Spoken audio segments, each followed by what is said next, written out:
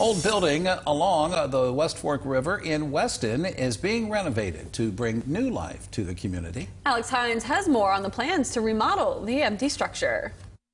The building on the end of First Avenue in Weston has been sitting empty for some time, although many people remember it as a car dealership as far back as the 60s and 70s. But when two Lewis County couples got a chance to look inside, they saw an opportunity for the community. We knew we had to do something with this building. We didn't know what, but we had to do something.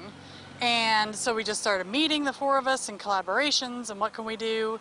And out of that, we were able to get the two other, well, it was three other pieces of property, and everything just fell into place, like serendipitous. Yeah. Once it's remodeled and repaired, the Weston Town Hub will include things like a small grocery store, local restaurants and retailers, and a tap room, as well as outdoor space for city residents to enjoy.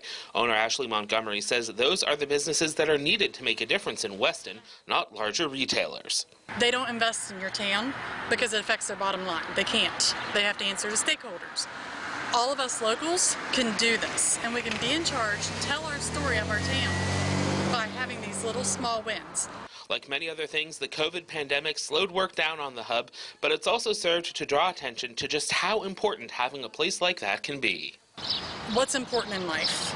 Being together. That is what everybody's craving right now, just to be somewhere together, safely, of course, but be together. So that's what the important thing is for here. Reporting in Weston, I'm Alex Hines for 12 News.